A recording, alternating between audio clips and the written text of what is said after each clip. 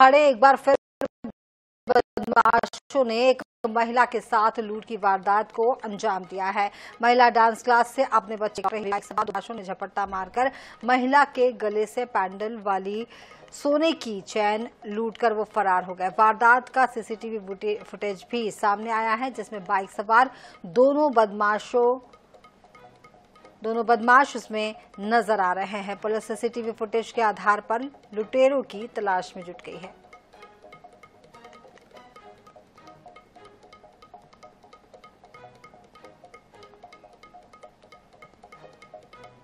अंतर्गत पटेल नगर क्षेत्र है। उसमें एक महिला के साथ चेन स्नैचिंग का मामला सामने आया है।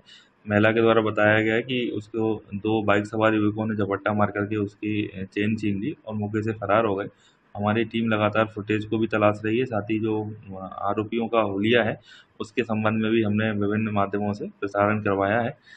शीघ्र ही इसमें प्रकरण में खुलासा किया जाएगा साथ ही महिला की एक आ, उस पर रिपोर्ट पर हमने एक लूट की धारा में थाना विश्वविद्यालय में अपराध पंजीबद्ध किया है।